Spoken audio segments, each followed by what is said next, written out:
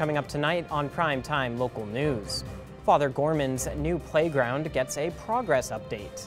And City Council works on getting a new air service in Lloydminster. Plus, our weekly edition of Pet Project.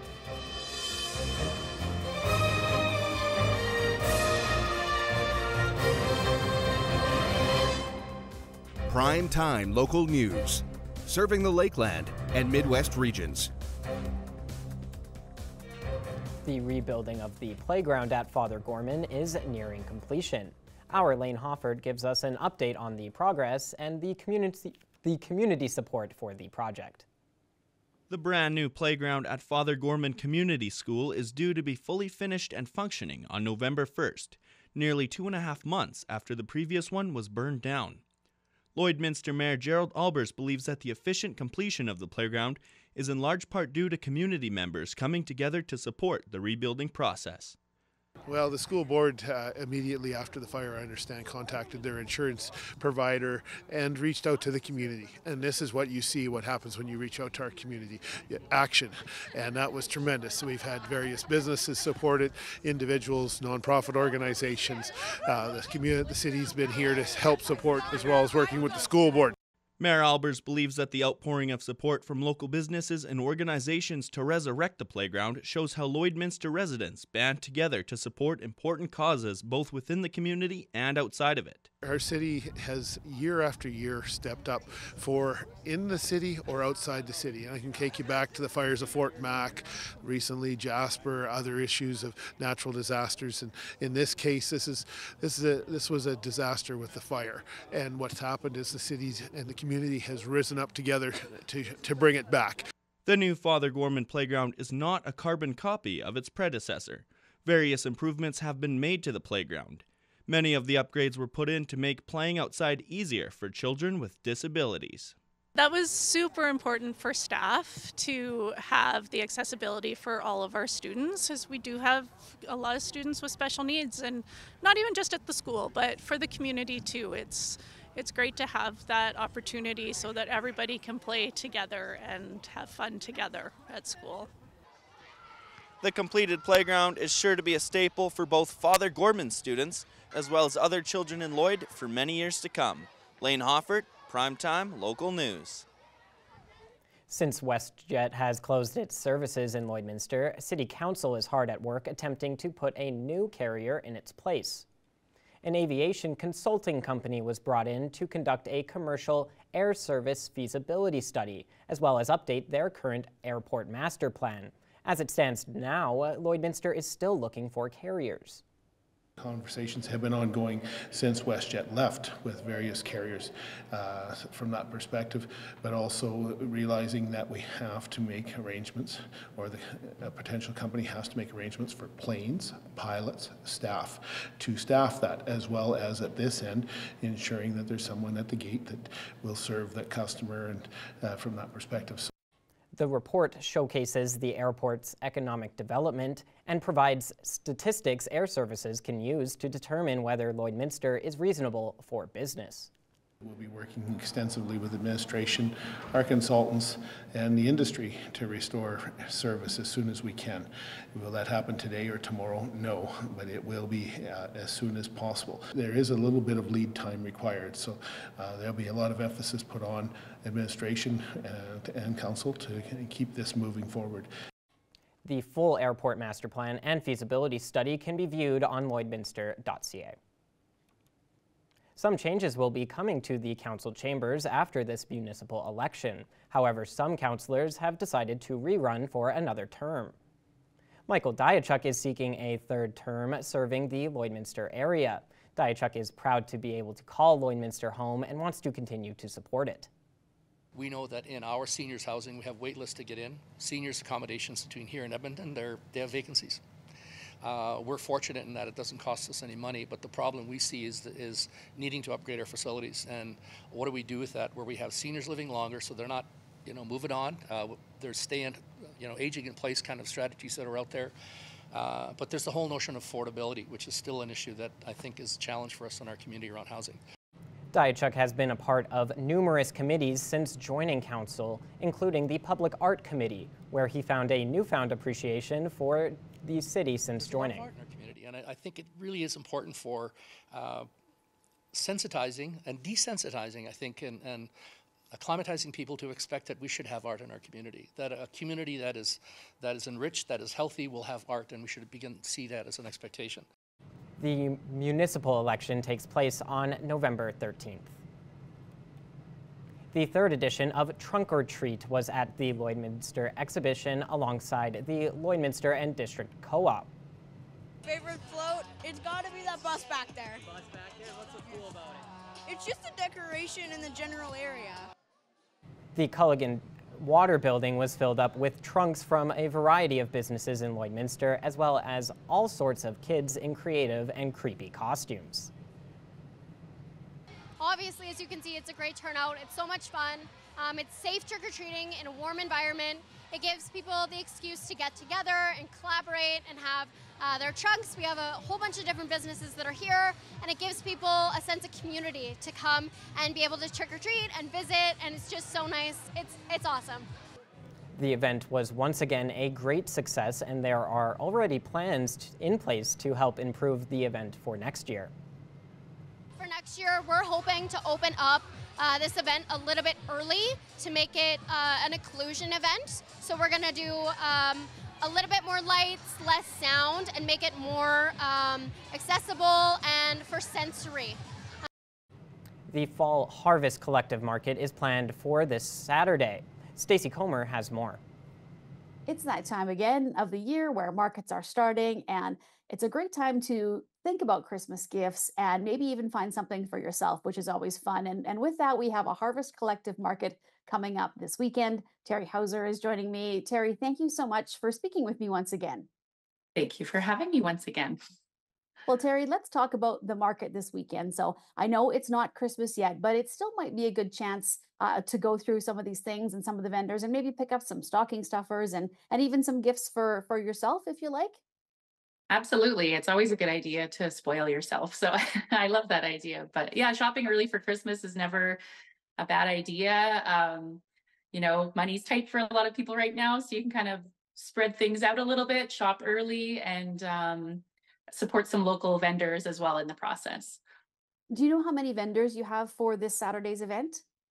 We actually have the most we've ever had. We have 43 this time. So we've squeezed a couple extra people in. Um, and it's a really good mix of jewelry, home decor, clothing, um, food, like cons- lots of good consumable things. So um, yeah, really good mix of vendors, but 43 this time, which is great. And for those who haven't been to the market before, can you just describe a little bit about how it works? It really is kind of a relaxed atmosphere and just go at your own pace. Yeah, absolutely. It's a pretty small market. Like it's not as big as some of the other um, ones that you'll see in the area. Um, so again, 43 vendors. It's just at the Nissan Hall at the exhibition, so a little bit of a smaller venue. Uh, we have a cash bar. You can grab a mimosa or a Lake Life Caesar or whatever your drink of choice is. Um, sip and shop and wander. We've got like a fun playlist that you can just kind of just relax and enjoy and and yeah, check out some local vendors there is an opportunity as well to support charity. You guys always do this with your markets, and this time it's the olive tree. So, how can people help out when they come to the market and support the olive tree? Yeah, so we um, don't have an admission fee in lieu of admission. We always select a local organization. This time it is the Olive Tree. Um, so if you're if you're able to bring a non-perishable food donation, or we'll also be accepting monetary donations at the door as well. So if you're able to bring something great, if you're not able to, that's okay too. We'd just love to have you there. What are the hours on Saturday, Terry? Uh, so we'll be open from 10 till 4. Um, yeah, at the Nissan Hall at the exhibition. And this isn't the last market for the year. Uh, as we said uh, earlier, there will be a Christmas one coming up a little bit later as well. So, can you start accepting uh, people now for that uh, coming market uh, later in the year too? Uh, people who who want to to bring a booth who maybe haven't been into this before. Right. Um, so we actually are just finalizing our vendor lineup already. These things are months in advance organizing Right. So, um, but we do have a wait list. Um, if you've got a small business, um, our market is all handmade, so it has to be a handmade business. Um, but yeah, if you have a handmade business and you're interested in joining us, head to our website and you can fill out the waitlist application there. Um, and spaces open up from time to time. Things come up and people can't make it, so we do utilize that waitlist um, every market basically. So, so yeah, if you haven't heard of us and this is your first time, definitely check out the website and get your application in. Well, Terry, it's been a pleasure speaking with you. And this is just such a nice, great, relaxing event. You can make it a fun day for the family to go out, or even, you know, if you need to get out of the house and get away from the kids, you can go and, and do some shopping as well. So, Terry, once again, just the location and the hours for the Harvest Collective Market on Saturday. Yeah, so it's 10 till 4 at Nissan Hall at the Lloyd X. Um, and we've got Facebook, Instagram, and our website is harvestcollectivemarket.com if you want to check out all the details there as well. All right. Well, thanks for chatting with me today, Terry, and good luck with the market. Thank you. Thanks for having me again. We are well into fall here in the border city, and it is chilly. Yes, definitely. Despite the sun today, it was definitely cold. You wouldn't Yeah. think the sun was out unless you stared right at it. It's not doing anything But for I us. will say, silver lining, it wasn't a. It's better than gloomy weather on top of the cold. Yeah. But we did see a very cold day today, uh, and we are still under that. Uh, we still have that wind. With the wind chill, it feels closer to minus two, but we are sitting at three degrees. And we did see it was gloomier in the morning, but those clouds did break away throughout the day, and we did end up with some sun this afternoon, which was nice. However, quite windy as well, 24 kilometer per hour wind, so things definitely are cooler and chilly. And then current temperatures across Alberta 4 degrees in Marwayne, Bonnyville, Cold Lake, Lac La Biche, and Provost, 5 in St. Paul, Vermilion, Wainwright, 8 out in Edmonton, 6 in Vegreville. And then in Saskatchewan, 0 degrees in Isle Cross, 1 in Green Lake, Meadow Lake, 4 or 2 now in Green Lake, 4 in Pierceland, 3 in St. Walburg, Maidstone, and Macklin, and 0 also out in North Battleford. And then overnight tonight in North Battleford will drop just below zero at minus two. And the sky, skies will remain mainly clear, a few clouds here and there, 15 kilometer per hour winds, but it will be quite chilly out. And then tomorrow, a daytime high of just nine degrees, uh, milder uh, and plenty of sunshine. So it's going to be a nice day out tomorrow. Uh, it may feel chillier just because of that 9, 15 kilometer per hour winds, uh, but it is going to be nice and sunny. Overnight tonight in Cold Lake will also be just below zero, minus one, uh, and otherwise it will become cloudy overnight tonight. 17 kilometer per hour wind, so it is going to be on the windier side. And then tomorrow, expect cloudy, gloomy conditions out, 15 kilometer per hour winds, and a daytime high of just 7 degrees. And then overnight tonight here in Lloydminster will drop down to minus one. We'll be partially cloudy uh, and 20 kilometer per hour wind. So our wind speeds won't change that much. It will remain quite windy overnight tonight. So definitely make sure you have your heaters on. And if you are going outside, make sure you are bundled up and staying warm and safe.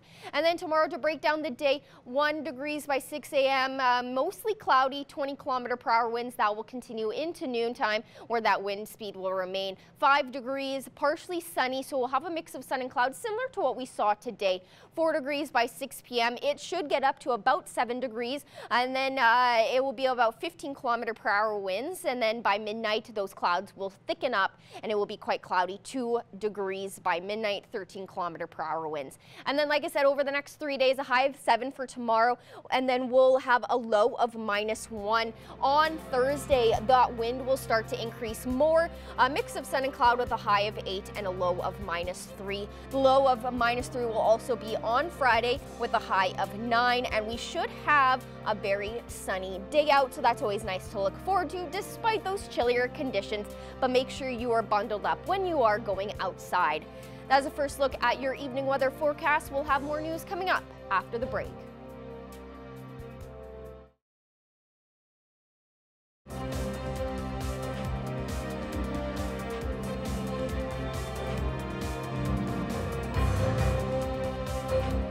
An event at the Moose Lodge in Lloydminster is coming up this weekend where people can bring out their Halloween spirit and costumes.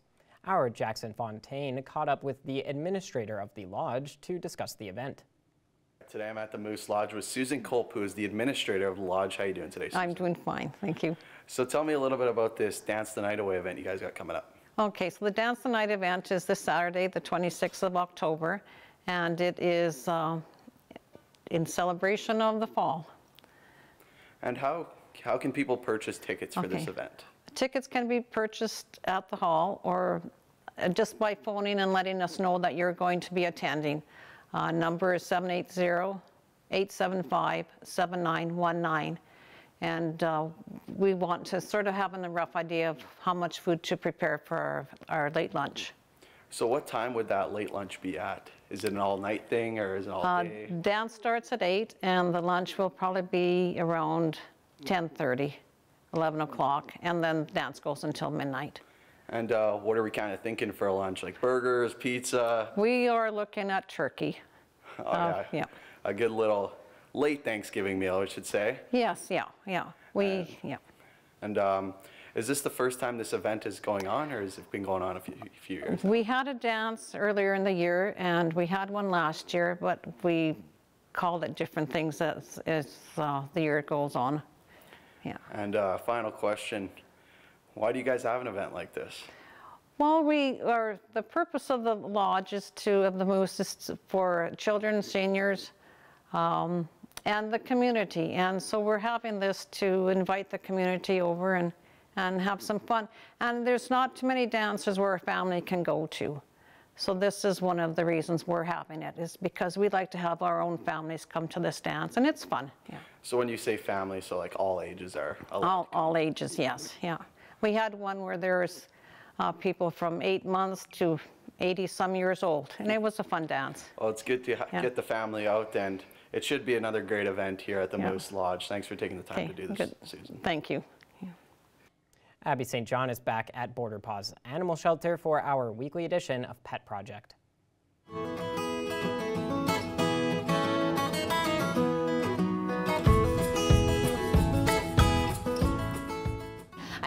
Border Paws Animal Shelter for our weekly edition of Pet Project, and today we're in the multi-purpose room. And if you can kind of hear him, uh, we are discussing Rusty. He is a gorgeous, most handsome boy, and he is you, he just. He exudes happiness. He does. Um, he's like those happy dancing dogs. So tell me about his story and what his best fit would be. So Rusty has been with us since the 29th of September. He was found over by the casino gambling with his life crossing the busy street. Uh, luckily, he has made it to us and he gets his last shot of shots today, his last round of shots, and he's available for adoption Ooh, immediately. He's got ants in his pants. he's a dancer. He loves to play. He's such a sweet boy. He he really is. Ever since he came in here, he has just been sweet and just full of energy. now, what would you recommend his his fit would be? Single pet hold? Would he work well with other dogs? He loves cats? other dogs. Rusty's a sweetheart. So yeah, he's very much wants to play with other dogs. Some of them aren't fans of, of him, but he absolutely loves everybody. He's a little nervous around cats, um, but he absolutely loves. He absolutely loves people. Yeah. He is such a sweet boy. He just right exudes happiness. He is just got such a spark for life still. Like he's. And I feel like the only way for kids, let's uh, go on that because that's also very important. I feel like if you just, he may barrel down a few kids. He's not very mindful. No, but he he is. He will give your children nothing but love, and I can already tell that just by the few minutes just seeing him, even before we started. He's just so sweet, and he definitely would make even a group of children. He would probably make the best companion. Absolutely, oh. he is. I think he he exudes the definition of man's best friend for sure. And he loves bum scritches. he absolutely loves his bum scritches. Now he is almost available for adoption. He's just getting his last round of shots, and it's perfect because you have an adoption event going on. Yes. Tell me about that. It is a week. it is a week long event. So, what do people need to know about it? So we are at PetSmart every day this week until the 26th. Uh, lots of fuzzy critters there, some cats and some dogs from 2 to 6 p.m. every day this week. So come on down and check it out. Have lots of lots of fuzzy critters looking for their forever homes. Oh, and those events are always so successful for you, especially the PetSmart PetSmart events. Uh, we've talked about this before. Now, uh, you have your Halloween event coming up, and we are going to be talking later this week more specifically on it. So for now, let's just uh, go through what you are still in need of. I believe you still are looking for some volunteers if, if anybody is interested in helping out. So tell me about that, what you're looking for specifically in, in their volunteers. So if anybody is interested in volunteering, we are looking for characters for our haunted house, people who can take admission, help pass out candy, uh, that kind of stuff, help us set some things up. Uh, take stuff down at the end. So if you're interested in that, you can either call the shelter. Our number is 780-875-2809, or you can email us at info at borderpaws.ca. Now, last week we mentioned the sick and injured fund. That's uh, that is still a very important topic, and I think we're going to bring that up a few for a, uh, for a while now. So, tell me about that sick and injured fund and how people can donate. So our sick and injured fund goes 100% fully towards animals that are in need of medical care. We did have uh, a, a, dog, a shepherd, Quilly, who had a pretty nasty run-in with a porcupine, and she had to have multiple procedures. Um, it did deplete the fund quite a bit. Um, but those kinds of, in order for us to be able to keep our adoption fees down, uh, the donations for that really, really help us out. And if you are interested in donating to our Sick and Injured Fund, there is a link on our website and on our Facebook page. You can also come to the shelter and make a donation in person. Because um, honestly, we, we do as, as much as we are able, and those kinds of things go a really long way for these guys. Yes, it really does. And it is vital. It, it, it's important because it goes back towards the dogs that need it yeah. and the cats and any animal that do um, end up in your care for the time being as yeah. well. Now, uh, going off of monetary donations, this is the same question as every week. The physical donations, yes. what are you in need of? We are in need of the Canadian Naturals dog food. We use the lamb and brown rice, uh, the Canadian Naturals cat food, turkey and salmon. We're looking for yeah, bleach and floor cleaners, slow feeders. We need toilet paper. Um, winter's coming up. Uh, a snow blower or snow shovel uh, would be greatly appreciated. Um, sugar for the coffee station because we do provide coffee. We have a little for guests who come in to take a look and. Um, we're also in need of like uh, the Kong toys because a lot of our dogs are larger breeds and they can get kind of rough on that kind of stuff. Hey, buddy? Yeah. Whoa. Yeah. Wonderful. Rusty was a fantastic guest, and I know that he will make the perfect companion for any household. And a little side note, any of the donation items that we mention on Pet Project are also um, good for admission into the haunted house this weekend. We do have an approved donation list. Wonderful. But if there's anything mentioned on here that we didn't have on the list, you, it, it can still apply to the admission. Perfect, and that's wonderful in lieu of uh, of admission, having a little donation item is all it goes a long way as well. So thank you again for joining me. And again, we'll talk later this week more so in depth about the Halloween haunted house event and what people and everything that people should know for this weekend and into next week. So thank you. Thank you so much. And it's time now to take a look at your adorable animals in our pet picks of the day.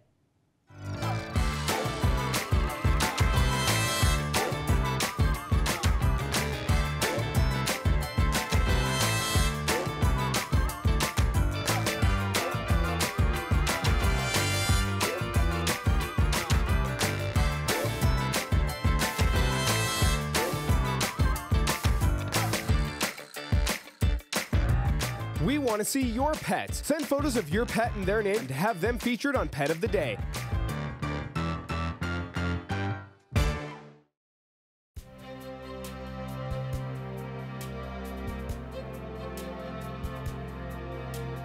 Taking a final look at our evening weather forecast. We saw a sunnier day than we saw yesterday, which was nice. Always nice to see, despite it still being cold. The sun really didn't do much, uh, but it is four degrees here in Lloydminster. We also saw quite a windy day as well, uh, so it made things feel a little bit cooler, around minus two with that wind chill. Four degrees also out in Cold Lake, Athabasca, and Whitecourt. Seven out in Red Deer and Edson. Eight out in Edmonton. Six in Jasper. And in Saskatchewan, a little bit cooler of temperatures, 2 degrees out in Meadow Lake, minus 1 in Prince Albert and Saskatoon, minus 2 out in Melfort, and 0 in North Battleford.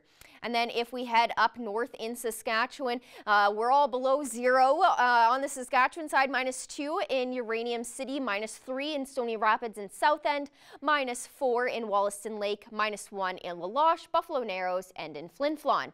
In Alberta up north, zero out in Fort Chipewyan, one in Fort Mac, minus one in High Level, four in Peace River, five in Grande Prairie, and three out in Slave Lake. Down south in Alberta, a little bit warmer, zero 0 out in Coronation, 5 in Calgary and Banff, 11 in Lethbridge, and 3 in Medicine Hat. In Saskatchewan, minus 1 in Kindersley, 2 in Yorkton and in Regina, 3 in Estevan and Moose Jaw, and 0 in Swift Current.